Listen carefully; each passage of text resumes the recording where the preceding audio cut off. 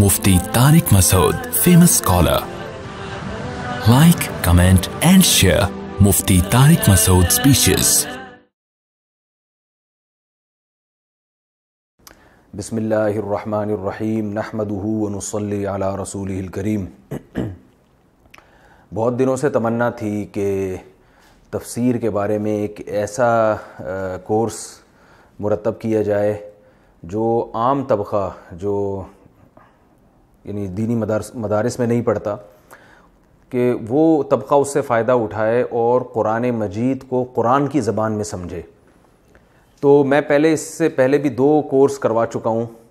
اب میں نے یہ تیسرا میرا کورس ہے۔ تو یہ جو تیسرا کورس میں ابھی کروانے جا رہا ہوں اس کورس کی خاصیت یہ ہے کہ پچھلے جو کورسز تھے، اس سے کچھ تجربوں سے بھی کچھ چیزیں سامنے آئیں۔ تو اس میں کچھ میں نے چینجنگ کی ہے۔ تو اس چینجنگ کے بعد اب میں سمجھتا ہوں کہ ایک بہت اللہ کی رحمت سے امید ہے کہ عوام کے لیے یونیورسٹی کے لڑکوں کے لیے اور خواتین کے لیے بھی جو بچیاں پڑھتی ہیں، ان کے لیے انشاءاللہ یہ بہت نافع ہوگا۔ اللہ کی رحمت سے امید ہے اور اللہ تعالیٰ سے دعا ہے کہ اللہ تعالیٰ اس کورس کو ہم سب کے لیے نافع بنائے، میرے لیے، میرے والدین، میرے اکابر کے لیے صدقہ جاریہ بنائے۔ تو اس کورس کا میں تھوڑا سا تعارف کروانا چاہتا ہوں، یہ ہے کیا؟ اس میں ہم شروع میں عربی گرامر کی کچھ کلاسز لیں گے، تقریباً آٹھ سے دس بارہ کلاسیں ہوں گی وہ۔ اور ان کلاسز میں میں عربی گرامر کا وہ حصہ پڑھواؤں گا، پڑھاؤں گا آپ کو جو جس سے قرآن آپ کی سمجھ میں آنا شروع ہو جائے، قرآن ہی کی زبان میں۔ دیکھیں، عربی گرامر جو ہے نا، یہ دنیا کی مشکل ترین گرامر میں سے ایک گرامر ہے۔ اور ہم اگر مدرسوں میں پڑھتے ہیں تو وہ تو پوری تفصیل سے گرامر پڑھائی جاتی ہے، اس میں دو سال لگتے ہیں طلبہ کو، پھر اس کی کتابوں میں پریکٹس ہوتی ہے۔ تو بہت آہستہ آہستہ چار پانچ سال کے بعد جا کے دینی مدرسے کا طالب علم اس قابل ہوتا ہے کہ وہ عربی تحریر کو خود سے پڑھ سکے اور اس کے لیے اسے ڈکشنری کی یا لغت کی ضرورت نہ رہے اور کسی سے مدد کی ضرورت نہ رہے۔ لیکن اب ظاہر ہے اتنا ٹائم لوگوں کے پاس نہیں ہے۔ تو ہم نے ابھی عربی زبان سیکھنے کو فوکس نہیں کرنا۔ ہم نے اتنی عربی جس سے اللہ کا کلام ہماری سمجھ میں آنا شروع ہو جائے۔ تو وہ گرامر۔ تو اس کا طریقہ یہ ہوگا کہ شروع کی آٹھ دس کلاسیں صرف عربی گرامر کی ہوں گی اور اس کے بعد جب ہم قرآن کی طرف آئیں گے اور قرآن مجید کی تفسیر اور ترجمہ شروع کریں گے تو وہ جو گرامر کے قانون آپ نے پڑھے ہوں گے، میں اس میں اپلائی کرتا رہوں گا کہ دیکھیں ہم نے یہ پڑھا تھا اور یہ لفظ یہاں اسی طرح کا آیا ہوا ہے، تو اس کا یہ ترجمہ ہے۔ تو انشاءاللہ کچھ دنوں میں آپ کی اتنی بہترین پریکٹس ہو جائے گی کہ آپ کو قرآن سمجھ میں آنا شروع ہو جائے گا، عربی میں سمجھ میں آنا شروع ہو جائے گا۔ لیکن اس کے لیے شرط یہ کہ کوئی ایک کلاس بھی آپ نے مس نہیں کرنی۔ اور یہ چالیس منٹ، چالیس پینتالیس منٹ کے یہ ایک ایک یعنی ایپیسوڈ تیار ہوگا۔ یہ آپ نے پوری دلجمی کے ساتھ لیکچر سننے اور اس کی کوشش کرنی ہے پریکٹس بھی کریں آپ۔ تو ورنہ میں پریکٹس بھی انشاءاللہ کرواتا رہوں گا اس، جب ہم تفسیر کے لیکچر شروع کریں گے یعنی جو قرآن مجید سے ہم رکوع پڑھنا شروع کریں گے اور اس میں میں بتاؤں گا، دیکھیں یہ لفظ یہاں آیا ہے، اس کا یہ مطلب ہے اور ہم نے گرامر میں یوں پڑھا تھا۔ تو آپ کو انشاءاللہ بہت فائدہ ہوگا۔ تو آپ نے کوئی لیکچر مس نہیں کرنا اور یہ آٹھ دس لیکچر اچھی طرح دماغ میں بٹھانے مشکل بالکل بھی نہیں ہے۔ لیکن اگر آپ درمیان درمیان سے تجربہ کر کے سنیں گے نا لیکچرز، تو آپ کو بہت مشکل لگیں گے۔ تو یہ اسٹیپ بائی اسٹیپ آپ نے میرے ساتھ اس پہ چلنا ہے۔ تو پہلا لیکچر ہوگا، پھر دوسرا ہوگا، پھر تیسرا ہوگا۔ تو انشاءاللہ آپ کو یہ بہت اچھا بہت آسان لگے گا۔ تو میرا تجربہ ہے اور میں نے یہ خود ایک سوچ کے ایک عوام کے لیے جو بالکل عام لوگ ہوتے ہیں، جن کو عربی سے کوئی دور دور کی بھی مناسبت نہیں ہوتی، ان کے لیے میں نے یہ ایک کورس ڈیزائن کیا ہے۔ اور یہ کوئی ریٹرن فارم میں آپ کو نہیں ملے گا۔ وہ الگ بات ہے کہ جب میں یہ کورس پڑھا دوں تو کوئی اس سے کتاب لکھنا چاہے یا سمجھانا چاہے تو ایک الگ بات ہے، وہ اس کو اختیار ہے۔ لیکن یہ آپ دیکھیں گے کہ انشاءاللہ بہت فائدہ ہوگا اور یہ اس لیے بھی فائدہ ہوگا آپ کو کہ اردو زبان جو لوگ جانتے ہیں، سمجھتے ہیں، تو انہیں یہ معلوم ہونا چاہیے کہ قرآن مجید کے بہت سارے الفاظ اردو ہی میں، اردو میں یوز ہوتے ہیں۔ لیکن ان کی فارم اور شکل چینج ہو چکی ہوتی ہے۔ تو گرامر کا کچھ حصہ پڑھنے سے آپ کو فائدہ یہ ہوگا کہ آپ وہ لفظ قرآن میں دیکھ کے فوراً پہچان جائیں گے کہ اچھا اردو میں یہ یوں استعمال ہوتا ہے اور اس کی شکل چینج ہونے کی وجہ سے یہاں اس کا یہ معنی بن رہا ہے۔ جیسے قرآن میں آتا ہے، افلا تاقلون عقل، یہ تاقلون عقل سے نکلا ہے۔ عقل اردو کا لفظ ہے۔ فسجد الملائی کا تو کلحم ملائکہ فرشتوں کو کہتے ہیں فسا جدہ سجدہ سجدے کو کہتے ہیں اردو میں بھی۔ کلہم کل، پتہ ہے آپ کو سب کو کہتے ہیں کہ بھائی، کل کل، میرے پاس کل یہی ہے۔ تو یہ بہت سارے الفاظ، اگر میں یوں کہوں کہ نائنٹی پرسنٹ یا نائنٹی، نوے فیصد الفاظ ایسے ہیں قرآن مجید میں جو اردو میں یوز ہو رہے ہیں۔ تو یہ شاید میرا دعویٰ غلط نہ ہو۔ تو آپ کو بہت آسان لگے گا۔ اس لیے آپ اس کورس کو بہت شوق سے سنیں، بہت شوق سے سمجھنے کی کوشش کریں اور جن لوگوں کے پاس ٹائم کی کمی ہے، لیکن وہ چاہتے ہیں کہ ہم قرآن سیکھیں اور ہم قرآن میں مہارت پیدا کریں۔ مسجد میں، مسجد کے امام جب قرآن کی تلاوت کرتے ہیں، ہم پیچھے ہاتھ باندھ کے کھڑے ہوتے ہیں، ہمیں پتہ ہی نہیں ہوتا کہ امام صاحب کیا پڑھ رہے ہیں، اس کا مطلب کیا ہے، کیسے بہترین واقعات قرآن میں آتے ہیں، احکام آتے ہیں قرآن مجید میں۔ تو آپ ہمارے یہ پورے لیکچر سنیں گے۔ تو انشاءاللہ میں اللہ کی رحمت سے پوری امید کر کے کہتا ہوں کہ آپ کو سو فیصد نہیں تو نائنٹی فائیو پرسینٹ ان شاء اللہ قرآن مجید قرآن ہی کی زبان میں سمجھ میں آئے گا۔ تھوڑی سی محنت کی تو اللہ نے چاہا سو فیصد آنا شروع ہو جائے گا۔ تو بہت آپ کو قرآن سننے میں، پڑھنے میں مزہ آئے گا انشاءاللہ۔ جب آپ تلاوت کریں گے تو آپ کو تلاوت میں سمجھ میں آئے گا کہ یہ کیا کہا جا رہا ہے، ہم سے کس چیز، کیا اللہ تعالیٰ ہم سے کیا چاہتے ہیں، ہم سے کیا بات کر رہے ہیں، اللہ تعالیٰ ہم سے کیا کلام کر رہے ہیں۔ تو اس لیے آپ نے یہ پوری پابندی کے ساتھ سننا ہے، پوری پابندی کے ساتھ آخر تک اس میں ہمارے ساتھ رہنا ہے۔ اور اللہ تعالیٰ سے میں دعا کرتا ہوں، اللہ تعالیٰ اس میں برکت دے۔ ربی یسر ولا توثر و تمم ہو بالخیر وہ بھی کا نستعین۔ اے اللہ، اس کو ہمارے لیے آسان کر دے اور اس کو مشکل نہ بنا اور ہم تجھی سے مدد طلب کرتے ہیں۔ تو اللہ سے دعا کے ساتھ میں اس کی ابتدا کرتا ہوں۔ بسم اللہ الرحمن الرحیم۔ دیکھیے، قرآن مجید میں بہت سارے الفاظ ایسے ہیں کہ اس کا ایک خاص اسٹرکچر ہے، خاص شکل ہے۔ اگر وہ شکل، جو یہاں جو طلبہ بیٹھے ہوئے ہیں، میں ان سے بھی ذرا خطاب کروں گا، ان کی طرف بھی دیکھوں گا تاکہ صرف کیمرے میں میں نہیں فوکس کروں گا کہ یہاں جو لوگ بیٹھے ہوئے ہیں، وہ بھی تاکہ جو ہے نا آئی کانٹیکٹ کے ذریعے ان کو سمجھانا اور ان کے لیے سیکھنا بھی آسان ہو۔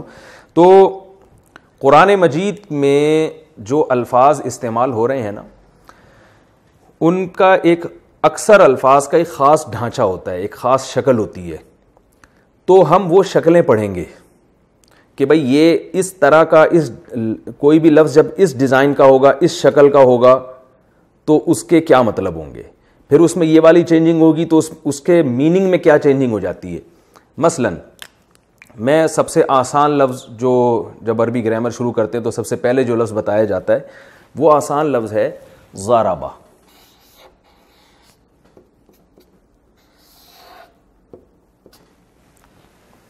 زرابا کا مطلب ہے، اس نے مارا۔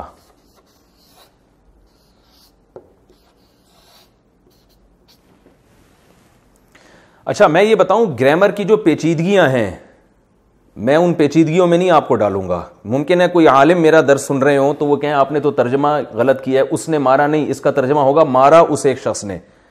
تو جو گرامر پڑھنے والے علماء ہیں نا، وہ وہ جانتے ہیں کہ اس نے مارا میں اور مارا اس شخص نے، دونوں جملے میں تھوڑا فرق ہے، کیونکہ یہاں ضمیر یہ بعد میں آتی ہے، لیکن میں اتنی پیچیدگیوں میں نہیں ڈال رہا۔ تو اس لیے جو علماء اگر میرا کوئی درد سن رہے ہیں، تو وہ اس، ان کو اس پہ اعتراض کا حق اس لیے نہیں ہے کہ میں یہ عوام کو سادہ زبان میں گرامر کی پیچیدگیوں سے نکال کے بالکل سادہ الفاظ میں ایک چیز سمجھا رہا ہوں اور زیادہ ان کو اتنی گرامر کی گہرائیوں میں اور لغات میں اور اس بلاغت کے نقطوں میں نہیں جاؤں گا میں۔ تو کیونکہ میں نے پہلے آپ کو بتا دیا کہ میں گرامر کا صرف اتنا حصہ فوکس کروں گا جس سے ان کو قرآن سمجھ میں آنا شروع ہو جائے گی کیا لکھا ہوا ہے۔ تو بہت بڑا مفسر بنانا، مفتی بنانا، کوئی فقیح الامہ بنانا مقصد نہیں ہے ہمارا۔ قرآن جب پڑھا جا رہا ہو تو ان کے سمجھ میں آ رہا ہو کہ کیا ہو رہا ہے۔ یہ کیا ہم سے خطاب ہو رہا ہے اور کیا ہم سے کہا جا رہا ہے۔ تو اس لیے زیادہ پیچیدگیوں کو آپ نے نہیں جانا، جیسے جیسے میں آپ کو بتا رہا ہوں، آپ نے اس کو اسی طرح سے فوکس کرنا ہے۔ اب دیکھیں، یہ جو ایک ذرابا کا لفظ ہے ذرابا کا معنی ہے اس نے مارا۔ مراد اس سے ایک مرد ہے۔ کیا مطلب؟ ہر لفظ کا نا ایک مزدری معنی ہوتا ہے، جس کو انگلش میں ورب کہتے ہیں۔ ورب کہتے ہیں ایٹ کا معنی کیا ہے؟ کھانا۔ ڈرنک کا معنی؟ پینا۔ دیکھیں اردو میں اس کی علامت کیا ہے؟ آخر میں نہ آ رہا ہے۔ کھانا، پینا، سونا۔ تو جو اس طرح کے الفاظ ہیں، ہم اس کو کیا کہیں گے؟ اب جب میں یہ لفظ یوز کروں گا، میں بولوں گا مزدر کیا کہوں گا؟ مزدر مزدر انگلش میں کہتے ہیں اس کو ورب اس پہ بھی علماء کو کچھ اشکال ہو سکتا ہے۔ تو وہ چھوڑ دیں جو گرامر کی میں عوام کے لیے سادہ الفاظ میں سمجھا رہا ہوں تاکہ قرآن سمجھ میں اچھا ایک اہم بات۔ جتنے حضرات میرا یہ لیکچر سن رہے ہیں، چینل پہ سنیں گے یا فیس بک پہ سنیں گے یا جو سامنے بیٹھے ہوئے ہیں ابھی سے وہ یہ نیت کریں کہ ہم نے اس نیت کے ساتھ اس کو پڑھنا ہے کہ ہم آگے لوگوں کو پڑھائیں گے یہ۔ یہ ذہن میں رکھیں۔ وجہ اس کی دو ہیں۔ ایک تو یہ کہ جو چیز اس نیت سے پڑھی جاتی ہے کہ آگے ہم نے لوگوں کو پڑھانا ہے، تو اس میں آپ کا جو، آپ کی جو توجہ ہے نا، وہ بہت بھرپور طریقے سے لگتی ہے۔ آپ کی دلچسپی بڑھ جاتی ہے کہ آپ صرف ایک طالب علم نہیں بن رہے، بلکہ آپ نے آگے ٹیچر بھی بننا ہے۔ تو جب آدمی کو پتا ہوتا ہے کہ میں نے یہ آگے ٹیچ بھی کرنا ہے نا، تو پھر اس کی جو انٹینشن ہے اور جو اس کی جو توجہ ہے، وہ وہ اچھی طرح سے مرکوز ہوتی ہے یعنی قدرتی طور پر وہ اس زیادہ اچھا سیکھ پاتا ہے۔ تو ایک تو یہ آپ نے نیت کرنی ہے لازمی کہ ہم نے یہ آگے لوگوں کو پڑھا۔ میری طرف سے کھلی اجازت ہے، آپ پڑھائیں تاکہ یہ دین کا کام زیادہ سے زیادہ ہو۔ تو اور آپ اسی نیت سے پڑھیں۔ آپ کو، آپ یہ سمجھتے ہیں کہ ہمیں کوئی سننے والا نہیں ہے، تو بھائی آپ گلی محلے میں لوگوں کو جمع کر لیں، اپنے گھر کے افراد کو جمع کر لیں، خواتین اپنے بچوں کو جمع کر لیں، تو کسی بھی طریقے سے آپ ان کو پڑھا سکتے ہیں۔ انشاءاللہ اس سے فائدہ ہوگا۔ دوسرا فائدہ اس سے کیا ہوگا کہ صدقہ جاریہ ہوگا۔ رسول اللہ صلی اللہ علیہ وسلم نے فرمایا کہ من کیا ہے؟ منسن سنتاً حسنتاً فلاح اجروہا و اجر من عامل بہا۔ جس نے بھی کوئی نیک کام کیا، تو جو بھی اس کی تبلیغ کی وجہ سے اس پر عمل کرتا رہے گا، تو اس کو بھی ثواب ملے گا اور اس کی وجہ سے اس کو بھی ثواب ملے گا جس نے اس کو رہنمائی کی۔ تو یہ بہت بڑی فضیلت ہے پڑھانے کی اسلام میں۔ نبی صلی اللہ علیہ وسلم نے فرمایا بوئست و معلمہ اللہ نے مجھے ایک معلم بنا کے بھیجا ہے، ٹیچر بنا کے بھیجا ہے۔ تو آپ بھی اگر ٹیچر بننے کی نیت سے یہ پڑھیں گے اور آگے ٹیچنگ بھی شروع کر دیں گے تو رسول اللہ صلی اللہ علیہ وسلم کے ساتھ یہ آپ کی ایک مشابت ہو جائے گی اور نبی کی جو ایک مخصوص صفت تھی معلم، تو آپ کو بھی اللہ تعالیٰ اس صفت میں سے کچھ حصہ عطا کرے گا۔ تو اس لیے آپ سب نے یہ نیت کرنی ہے کہ ہم نے آگے اس کو پڑھانا ہے۔ اچھا ہمارے یہاں بعض لوگ کہتے ہیں کہ ہمیں بہت بڑا کراؤڈ چاہیے، تو بھائی چار پانچ بندوں کو پڑھانا شروع کریں گے تو جب آہستہ آہستہ آپ کو کانفیڈنس پیدا ہوتا چلا جائے گا تو ان شاء اللہ ایک دن آئے گا آپ کے آپ سے ہزاروں لوگ بھی پڑھنے والے ہوں گے۔ تو پہلے دن صحیح نہیں ہو جاتا سب کچھ۔ تو میں یہ عرض کر رہا تھا کہ یہ اس کو کہتے ہیں مزدر ورب۔ اردو میں اس کی علامت کیا ہے؟ نہ آتا ہے آخر میں۔ کھا نہ پینا۔ سونا۔ ٹھیک ہے نا؟ اور انگلش میں ورب کہتے ہیں اس کو۔ انگلش میں کوئی خاص علامت نہیں ہے کہ ریڈنا۔ ریڈ کا مانا پڑھنا۔ ٹھیک ہے نا؟ یہ نہیں کہہ سکتے ریڈنا۔ تو انگلش میں اس کی کوئی علامت نہیں ہے۔ اردو میں علامت ہے کھانا، پینا، سونا۔ یعنی آخر میں نہ آ رہا ہوتا ہے۔ عربی میں بھی کوئی علامت نہیں ہے۔ جیسے زرب زرب ایک لفظ ہے۔ اس کا معنی ہے اردو میں مارنا۔ اب یہ ایک خاص وزن ہے اس کا۔ لیکن بہت سے الفاظ ایسے ہیں جو کسی اور، کوئی اور ڈھانچہ ہوگا ان کا۔ یعنی اس کا اسٹرکچر جو ہے نا، کچھ جو شیپ ہے، کچھ اور طرح کی ہوگی۔ جیسے جمود۔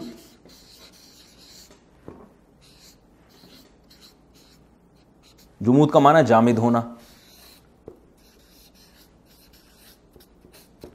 جامد ہونا یعنی کسی چیز کا جم جانا۔ کہتے ہیں نا، طبیعت میں جمود بہت ہے، جامد ہے۔ تو جمود یا سجود عربی میں، سجدہ عربی میں سجدہ۔ اس کا معنی اردو میں کیا ہے؟ سجدہ کرنا۔ لیکن عربی میں کیا کہتے ہیں؟ سجدہ۔ بس سجدہ کا معنی ہی سجدہ کرنا ہے۔ تو اب دیکھیں یہاں ضرب یہ کسی اور شکل ہے، سجدہ یہ الگ شکل کا ہے۔ تو عربی میں مزدر کی کوئی شکل ہوتی نہیں ہے۔ اب سوال یہ پیدا ہوتا ہے کہ قرآن میں آپ کو کیسے پتا چلے گا کہ یہ مزدر ہے؟ بھئی یہ کنفیوژن ہو گئی نا کہ یار جب کوئی مخصوص شکل ہی نہیں ہے تو ہمیں کیا پتا چلے گا قرآن میں۔ قرآن میں آپ کو اس طرح سے پتہ چل جائے گا کہ جو افعال ہیں نا یعنی جو سینٹینس آئیں گے قرآن مجید میں، ان کی خاص شکلیں ہوتی ہیں۔ تو جو سینٹینس نہ ہو، اور اردو میں بھی لفظ استعمال ہو رہا ہے۔ میں نے بتایا نا، بہت سارے الفاظ اردو میں استعمال ہو رہے ہوتے ہیں، تو ویسے ہی آپ کو سمجھ میں آ جائیں گے۔ نہیں آئیں گے تو ہم بیٹھے ہوئے ہیں یہاں بتانے کے لیے۔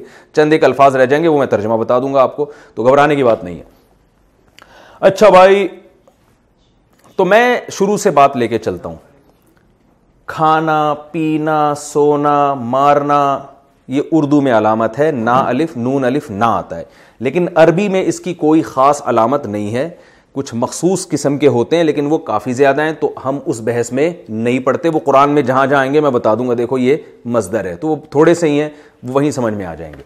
تو اب ہم آگے چلتے ہیں کہ جو مزدر ہوتا ہے نا، جیسے سجدہ کرنا۔ سجدہ کرنا۔ آپ کو پتا ہے کہ انگلش میں اور ہر زبان میں ٹینسز ہوتے ہیں۔ ماضی میں کام ہوتا ہے یا حال میں کام ہوتا ہے یا فیوچر میں کام ہوگا۔ تین ہی زمانے ہوتے ہیں، ماضی، حال، مستقبل پاسٹ پریزنٹ اور فیوچر تو پوری دنیا میں جتنی بھی زبانیں ہیں، ان سب میں یہی ہوتا ہے۔ سمجھ میں آ رہا ہے بھائی؟ تو جتنی بھی زبانیں دنیا میں یا تو بھائی پاس کی بات ہو رہی ہوگی یا ابھی کی بات ہو رہی ہے، یا فیوچر کی، اور تو کچھ نہیں ہو سکتا نا۔ تو جب پاسٹ کی بات ہوگی، اور ہم جب ماضی کی بات کریں گے کہ کسی نے ماضی میں ایک کام کیا ہے، تو اس کی کتنی قسمیں ہیں، ہم پہلے ان قسموں کو پڑھتے ہیں۔ بہت آسان ہے۔ یاد رکھیں، جب بھی کوئی لفظ اس وزن پر ہو با یعنی پہلا لفظ پہ زبر، دوسرے پہ بھی زبر، تیسرے پہ بھی زبر۔ تو اس کا معنی کیا ہوگا؟ ایک مرد ہے جس نے پاسٹ میں ایک کام کیا۔ زارابا اس نے مارا۔ کیونکہ اس کا جو مزدری معنی تھا، وہ مارنا تھا۔ اب مزدری معنی یاد ہو جائے گا آپ کو؟ مزدری معنی کا مطلب یعنی جس کا ورب تھا، اس کا اردو میں ترجمہ کیا تھا؟ مارنا۔ تو مارنا تھا، تو جب مارنا کے لفظ کو یعنی ضرب کے لفظ کو اس فارم میں لے کر آئیں گے نا۔ پہلا زبر، دوسرا بھی زبر، تیسرا بھی زبر، تو اس کا ترجمہ کیا ہوگا؟ اس نے مارا۔ لے بھائی، قرآن مجید کے درجنوں بلکہ سینکڑوں الفاظ حل ہو گئے۔ کیا مطلب؟ قرآن میں جو لفظ بھی اس طرح کا آ رہا ہے نا، پہلے پہ زبر، دوسرے پہ بھی زبر، تیسرے پہ بھی زبر۔ تو بس سمجھ لیں اس کا معنی ہے اس نے ماضی میں یہ کام کیا۔ مسئلہ حل ہو گیا کہ نہیں ہو گیا؟ خاندانی بات ہوگی کہ نہیں ہوگی؟ فات بھائی سمجھ میں نہیں آ رہا مجھے لگ رہا ہے آپ کے۔ اس میں کون سی نہ سمجھنے والی بات ہے؟ ہاں بھائی رافع خان؟ کیا سمجھ میں آیا؟ بہت اچھے سے۔ یہ سمجھ میں آیا مارا اس نے۔ مطلب جو اس شکل کا لفظ آ رہا ہے نا اس کا مطلب وہ کام ہو چکا ہے کرنے والا ایک بندہ ہے۔ اس نے ماضی میں کیا ہے۔ بہت سارے قرآن کے الفاظ حل ہو گئے۔ مثلا اب کہیں آ گیا قرآن میں سجدہ۔ بتاؤ یار اس کا ترجمہ بتاؤ شابش سجدہ کا مزدری معنی آپ کو پتا ہونا چاہیے اور وہ اردو میں میں نے بتایا کہ اکثر قرآن کے الفاظ ایسے ہیں جو اردو میں استعمال ہو رہے ہیں۔ اب دیکھیں سجدہ اردو میں ہو رہا ہے نا؟ کیا مطلب ہے بھائی؟ رافع خان۔ اب بھائی جان، اس کا مزدری معنی بتاؤ۔ سجدہ کرنا۔ تو جب ہم سجدہ کرنے والے لفظ کو اس فارم میں لکھیں گے سجدہ تو کیا مطلب ہوگا؟ اوئے ہوئے ہوئے، ہٹو بچوں ہو گیا۔ اس نے سجدہ کیا۔ بہت سارے الفاظ قرآن کے حل ہو گئے۔ اور کوئی لفظ بتاؤ۔ قرآن، آپ حافظ ہو نا؟ دونوں حافظ ہو نا؟ ماشاء اللہ علاقہ۔ علاقہ کہاں استعمال ہوا ہے؟ خلقہ چھوڑ۔ خلق الانسان من علاقہ نہیں ہے وہ، من علاقن ہے، آپ دیکھ لینا اس کو۔ وہ علاقن ہے، یہ اس طرح کا نہیں ہے وہ لفظ۔ خلقہ ضرور ہے۔ خلق الانسان من علقن، قرآن میں آتا وہ تو وقف کی وجہ سے علق پڑھتے ہیں نا۔ خلق الانسان۔ خلقا اب بتاؤ، خلق لفظ اردو میں استعمال ہوتا ہے کہ نہیں ہوتا؟ خالق، پیدا کرنے والے کو کہتے ہیں۔ مخلوق جس کو پیدا کیا جائے، تو خلقہ کا مطلب جو مزدری معنی ہے وہ کیا ہے؟ پیدا کرنا۔ تو یہ خلق کا لفظ جب اس طرح استعمال ہوگا خالقہ تو کیا مطلب ہوگا اس کا؟ اس نے پیدا کیا۔ ہم نے کتنے بجے شروع کیا تھا یہ؟ یعنی کتنے منٹ ہو گئے شروع کیے ہوئے؟ انیس منٹ ہو گئے۔ جب چالیس منٹ ہو جائیں تو مجھے بتا دیے گا۔ اس نے پیدا کیا۔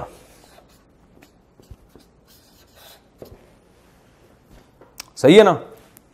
یعنی پیدا، اصل صحیح ترجمہ تو ہوتا ہے پیدا کیا اس نے۔ ہاں وجہ اب دیکھو، اردو میں یہ لفظ، جتنے الفاظ آپ عربی کے بولیں گے نا، میں ابھی آپ کو دعوے سے کہہ دوں نائنٹی پرسینٹ وہ اردو میں استعمال ہو رہے ہیں۔ نائنٹی بھی میں بہت احتیاط کے ساتھ کہہ رہا ہوں، زیادہ ہی ہو رہے ہوں گے۔ وجہ کا لفظ قرآن میں آتا ہے نا وابا جادا کا والن فہدا و وجہ کا۔ وجدہ۔ یہ شروع میں واؤ کا معنی قرآن میں آتا ہے، وا وا جیدا کا۔ یہ واؤ کا معنی ہوتا ہے اور، یہ الگ ہے۔ کا کا معنی ہوتا ہے آپ کو۔ تو یہ بھی الگ ہے، یہ ہم بعد میں پڑھیں گے۔ درمیان سے ہم وجادہ نکال لیتے ہیں۔ ٹھیک ہے؟ وا جادہ اردو میں استعمال ہوتا ہے، بتاؤ بھائی۔ موجود۔ اردو میں نہیں ہوتا موجود پانا۔ کسی چیز کو موجود پانا۔ یہ وجدہ وہیں سے تو ہے۔ کہتے ہیں نا، شاعر لوگ کہتے ہیں، میرا وجدان یہ کہتا ہے یعنی مجھے اندر سے یہ چیز موجود محسوس ہو رہی ہے۔ تو وا جا دا کا مانا کسی چیز کو موجود پانا، یا صرف پانا بھی، کوئی چیز فاؤنڈ جسے کہتے ہیں نا عربی میں فائنڈ فائنڈ کا مانا کیا ہوتا ہے؟ پانا۔ پانا وہ نہیں جو پلک پانا ہوتا ہے، جس سے ہم وہ سیٹ کر رہے ہوتے ہیں۔ کسی چیز کو پانا، حاصل کر لینا فائنڈ فائنڈ آؤٹ کہتے ہیں نا انگلش میں، یار۔ اب وجدہ کا معنی کیا ہوگا؟ اس نے پایا. ماضی میں. پاس میں اس نے ہاں. اس نے پایا.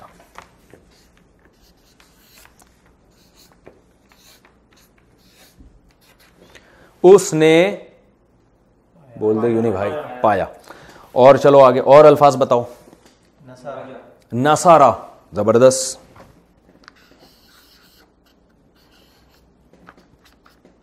نصارہ کا اردو میں ترجمہ کیا ہے یعنی مزدری معنی، اس اردو میں یہ لفظ کیسے استعمال ہوتا ہے؟ نصرت۔ تبلیغ والے کہتے ہیں نا، بھائی دین ہجرت اور نصرت سے پھیلا ہے۔ جماعت آئی ہوئی ہے، نصرت کے لیے چلتے ہیں۔ نصرت کا معنی کیا ہوتا ہے؟ مدد۔ نصرت کا معنی کسی کی مدد کرنا۔ انصار کہتے ہیں نا، انصار جو مدد کرنے والے تھے۔ ناصر مدد کرنے والا انصار اس کی جمع تو ناسارا اس کا مطلب کیا ہے؟ اس نے مدد کی۔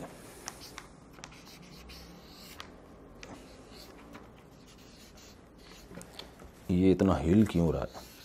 اس نے مدد کی گزرے ہوئے زمانے میں۔ صحیح ہے؟ فتح ہوئے ہوئے۔ صحیح آ رہا ہے بھائی؟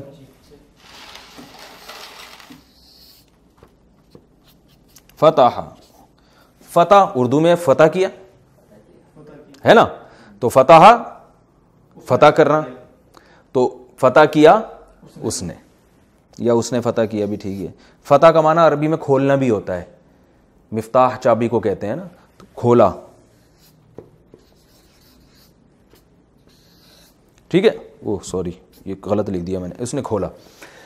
اور بتاؤ اب شابش آباسا آباسا کا لفظ اردو میں استعمال نہیں ہوتا۔ ٹھیک ہے نا۔ تو میں پہلے آسان آسان چیزیں نا، لوگ کنفیوژ نہ ہوتا خالقہ ہو گیا۔ میرا خیال ہے کافی ہے۔ باقی تو ہم قرآن میں پڑھیں گے نا۔ قرآن میں میں جب تفسیر شروع کراؤں گا تو میں بتاؤں گا، دیکھو یہ لفظ آیا ہوا ہے، یہ ہم نے بتایا تھا آپ کو کہ جو اس شیپ میں ہوتا ہے، اس کا مطلب یہ ہوتا ہے۔ اچھا بھائی۔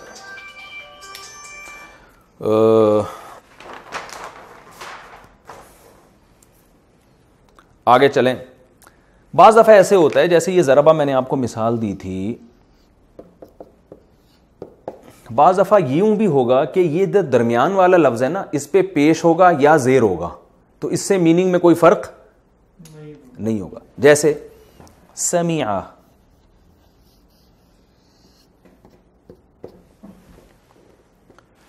شروع میں زبر ہے، آخر میں زبر ہے، درمیان میں کیا ہے؟ زیر ہے۔ اس سے کوئی فرق نہیں پڑتا۔ ایسی بھی شکل آتی ہے کبھی کبھار۔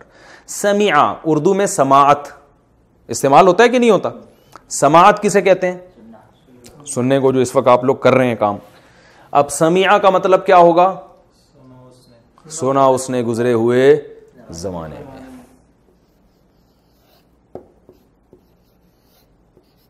سنا اس نے، بس گزرے ہوئے زمانے میں اس لیے نہیں کہہ رہی کہ سنا کا مطلب ہی سنا ہی ہوتا ہے نا اردو میں۔ اچھا بھائی، اور اس کی مثال حسیبہ۔ حسیبہ۔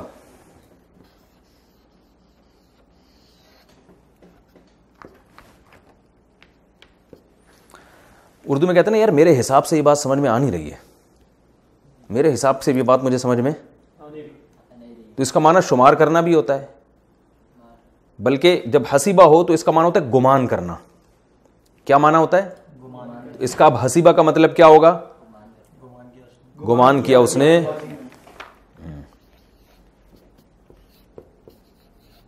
گمان کیا۔ ٹھیک ہے نا، اس آدمی نے گزرے ہوئے یہ ٹینس بن جائے گا، پورا پاس ٹینس۔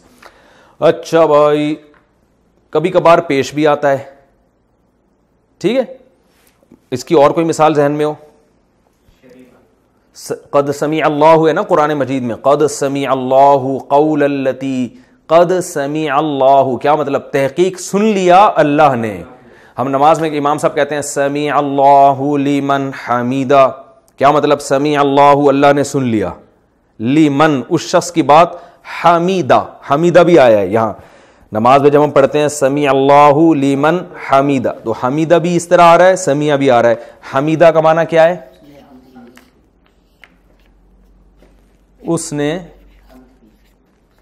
تعریف کی۔ قد سمیع اللہ، تحقیق سن لیا اللہ نے لی من اس شخص کی بات، حمیدہ، جس نے تعریف کی ہو، اس اللہ کی۔ یہ ہو ہا ہا، یہ ہو ہا کیا ہوتا ہے؟ یہ آخر میں جو آتی ہے، یہ بعد میں پڑھیں گے، ٹھیک ہے نا؟ قد کیا ہوتا ہے لیمن کیا ہوتا ہے، یہ سب بات کی چیزیں۔ حمیدہ اس نے تعریف کی۔ یہ ہو سکتا ہے جو میں نے آپ سے کہا نا، آٹھ دس لیکچر، ہو سکتا ہے یہ پندرہ بیس بھی ہو جائیں۔ تو چونکہ میں ایک، میں کوشش کرتا ہوں کوئی یعنی جو پڑھانے کا جو میرا انداز ہو نا، لگا بندہ نہ ہو۔ میں سامعین کی توجہ کے حساب سے مثالیں زیادہ بھی لا سکتا ہوں، کم بھی لا سکتا ہوں۔ تو اس میں ہمارا یہ لیکچر آٹھ دس کے بجائے بیس بھی ہو سکتا ہے، پندرہ بھی ہو سکتا ہے۔ تو جتنا بھی ہو، ہمیں عام کھانے سے مطلب ہے، پیڑ گننے سے مطلب نہیں ہے۔ تو لیکن یہ کہ جتنے بھی لیکچر ہوں گے، یہ گرامر کے آپ نے شوق سے سننے ہیں، سمجھنے ہیں، ان کو ذہن نشیں کرنا ہے اور اور جیسے جیسے سنتے چلے جائیں گے، اسی طرح سے آپ نے ٹیچ کرنا شروع کر دینا۔ اسی طرح پڑھو۔ اس سے پڑھانے سے فائدہ یہ ہوگا، آپ کے دماغ میں بہت اچھی طرح بات بیٹھے۔ یعنی آپ یہ نہیں کہیں گے، جب ہم جس دن ہم آخری پارا پڑھیں گے اور جس دن پورے قرآن کی تفسیر ختم ہوگی، تو ہم اس دن سے پڑھانا شروع کریں گے۔ یہ نہیں کرنا آپ نے، جیسے جیسے میں آپ یہاں سے لیکچر میرے سنتے جائیں گے، ایسے جیسے آگے آپ ڈلیور کرتے جائیں گے۔ دو چار نہیں ملتے، ایک ہی بندے کو بٹھا کے آپ پڑھانا شروع کر دیں۔ ایک بھی نہیں ملتا تو شیشے کے سامنے بیٹھ کے اپنے آپ کو پڑھانا شروع کر دیں۔ جب زبان سے انسان دہراتا ہے نا، تو پھر کانفیڈینس پیدا ہوتا ہے اور وہ چیز اچھی طرح یاد ہوتی ہے، ذہن نشیں ہوتی ہے۔ تو سمی اللہ، حمیدہ ہو گیا نا؟ اور اور مثالیں دیں۔ شریبا زبردست۔ رافع خان تو بڑے سمجھدار آدمی لگتے شریبا۔ بہت آسان اردو میں استعمال ہوتا ہے ماموں یہ میں پیار سے بھی کبھی کبھار ماموں بولتا ہوں نا۔ شرب پینے کو کہتے ہیں نا۔ شرب اور مشروب ہوتا ہے نہیں ہوتا۔ وہ بھائی، اردو میں استعمال ہوتا ہے نا یار، مشروبات پینے کی چیزوں کو کہتے ہیں نا تو شارا شربت۔ یہ بھی اسی سے نکلا ہے، شربت۔ شربت بزوری اور حکیموں کی نہیں لکھے ہوئے ہوتے؟ دکانوں پہ شربت بنف شاہ شیتوت تو خیر، تو یہ لفظ شربت اردو میں استعمال ہوتا ہے، تو شرب، یہ شراب دیکھ لیں نا پینے کی چیز ہے نا، اس کو بھی اس لیے شراب کہتے ہیں۔ تو شین را با جہاں آتا ہے، اس میں پینے کا معنی پیدا ہوتا ہے۔ تو اب جب یہ اس شکل پہ آیا، شا ری با، س می آ کی طرح کیا مطلب؟ پیا اس نے۔ پیا اس نے۔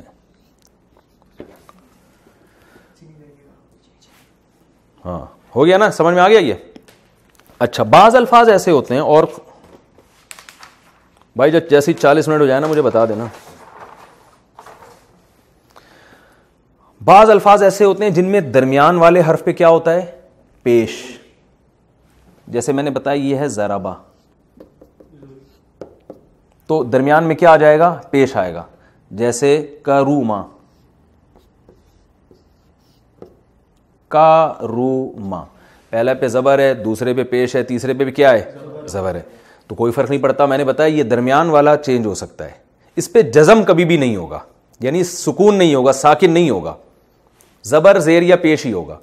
تو کا روما میں کیا ہے؟ پیش ہے۔ تو کرامت سے نکلا ہے۔ کرامت، عزت کو کہتے ہیں نا۔ بھائی، فلاں کا اکرام کرنا چاہیے ہمیں۔ تو اس کا مطلب ہوتا ہے مزدری معنی ہوتا ہے عزت دار ہونا۔ عزت دار ہونا۔ تو کیا ترجمہ ہوگا؟ عزت دار ہوا۔ وہ ایک شخص، ٹھیک ہے؟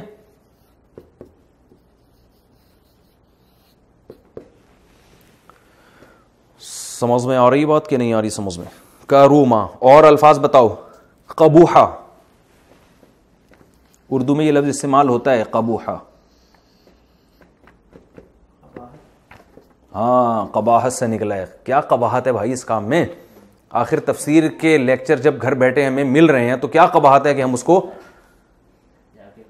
فری پھوکڑ میں جب ہمیں گھر بیٹھ کے ایک چیز مل رہی ہے اور ہم آگے پڑھانے سے ہمیں خود کو فائدہ ہو رہا ہے تو کیا قباہت ہے کہ ہم آگے کسی کو نہ پڑھائیں؟ کہتے ہیں نا، ارے اس میں کیا قباہت ہے؟ اتنا اچھا رشتہ آیا ہوا ہے۔ لوگ کہتے ہیں نا بھائی، کیا بات ہے بھائی؟ کیا قباہت ہے اگر اس نے اپنے بڑے کو دو لفظ نصیحت کے بول یہ قباہت کا لفظ اردو میں بہت استعمال ہوتا ہے۔ تو قبوہا قباہت سے نکلا ہے۔ قبوہا کا معنی کبھی ہونا تو برا ہوا۔ وہ ایک شخص یعنی ایک آدمی جو ماضی میں کبھی ہو گیا برا ہو گیا تو اس کو ہم کیا کہیں گے؟ قبوہا سمجھتے ہو کہ نہیں سمجھتے ہو؟ تو اور بھی ایک دیکھ لو ایک دو الفاظ اس تاکہ تھوڑی سی۔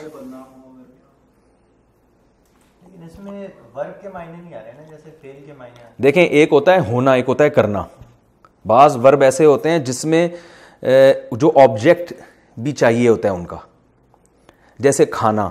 تو جب آپ کھائیں گے تو خود سے یہ نہیں کھائیں گے، بلکہ کوئی چیز ہوگی جو کھائیں گے، وہ چیز آبجیکٹ ہوگی، جس کو مفول کہتے ہیں عربی میں۔ اور کچھ کام ایسے ہوتے ہیں جو وہ آبجیکٹ وہ سبجیکٹ کے ساتھ ہی کمپلیٹ ہو جاتے ہیں۔ ان میں آبجیکٹ نہیں چاہیے ہوتا۔ اس کی مثال ہے جیسے مرنا۔ اب یہ بھی ایک عمل ہے نا، مر گئے تو کیا جیسے میں یہ کہتا ہوں کہ قتل کیا، تو قتل کیا تو کسی کو کیا ہوگا نا، وہ مقتول ہوگا۔ لیکن ایک آدمی کہتا ہے مرا، تو مر تو خود ہی گیا۔ ٹھیک ہے نا؟ بیمار ہوا، خود ہی بیمار ہو گیا مریضا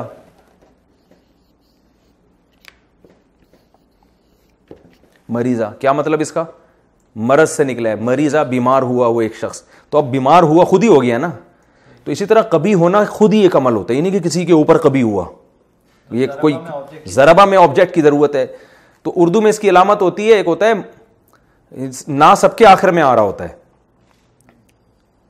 لیکن وہ ہمیں پھر دیکھنا پڑتا ہے کہ کہ یہ، اس کو ہم کہتے ہیں فیل لازم فیل متعدی۔ میں نہیں چاہ رہا تھا ان اصطلاحات میں ڈالوں نا، تو اس لیے میں اتنی بحث، ہونا ہے کام ہو رہا ہے بس، ٹھیک ہے نا؟ فیل لازم، متعدی کو چھوڑیں۔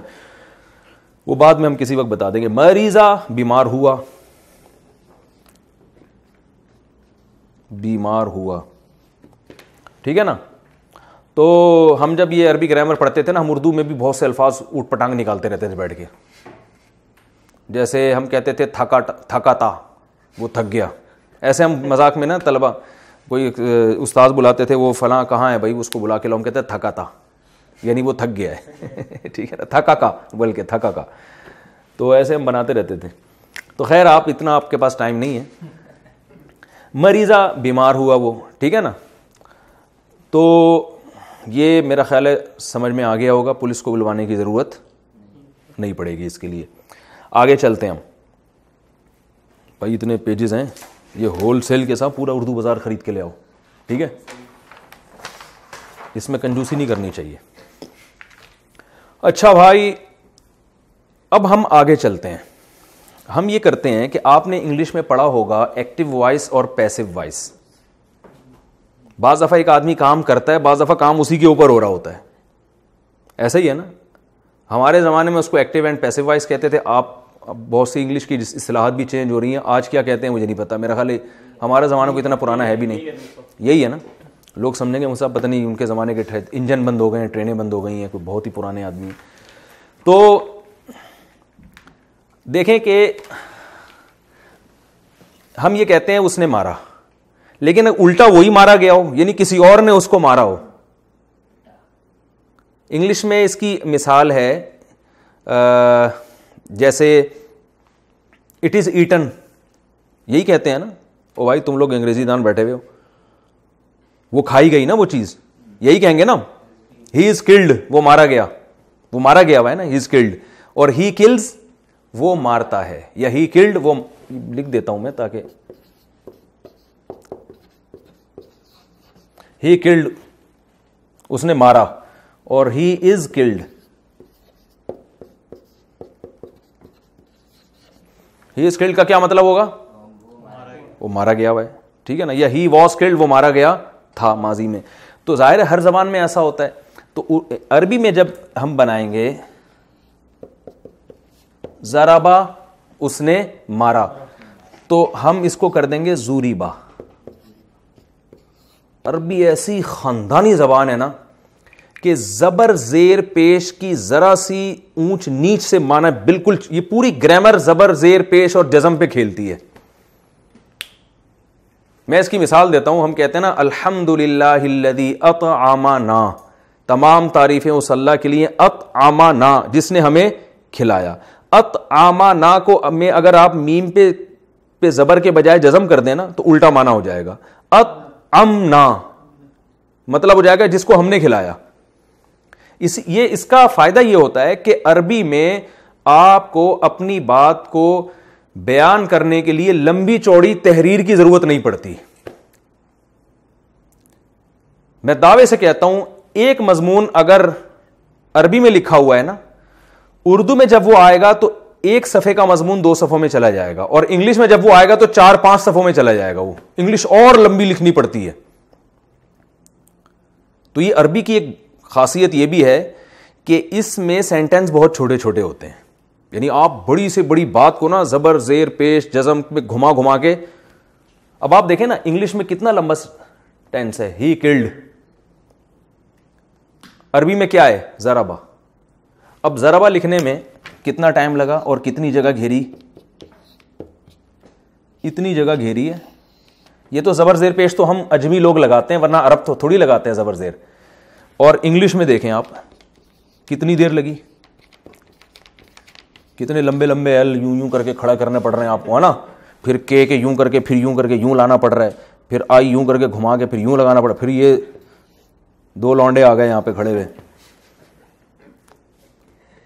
تو عربی کے بعد مقام ہے اردو کا۔ اور یہ گوروں نے اعتراف کیا ہے کہ جو گورو، جنہوں نے اردو بھی انہوں نے اعتراف کیا ہے کہ اردو زبان بلاغت کے لحاظ سے انگلش سے کئی گنا زیادہ اچھی ہے۔ یہ گورے اس کا اعتراف کرتے ہیں۔ میں بھی آسٹریلیا میں گیا تھا۔ تو وہاں ایک مشاعرے میں، انگریزوں کے مشاعرے ہم نے تو کبھی سنے نہیں تھے، لیکن بتایا ہوتا ہے ان کا مشاعرہ۔ کبھی کچھ انگریز بیٹھے ہوئے تھے۔ تو ہمارے بھی کوئی شاعر چلے گئے وہاں۔ انہوں نے مجھے بتایا کہ میں جب میں نے جب ان کو اردو شاعری سنائی نا وہاں پہ، اور پھر اس کا ترجمہ کیا تو گورے سر پکڑ کے بیٹھ گئے۔ کہہ رہے یار، اتنی اتنی زبردست اس میں بلاغت ہے۔ تو یہ بہت بڑے ایک ماہر سے میں نے سنا ہے جو انگلش بھی بہت اچھی بولتے ہیں اور اردو بھی۔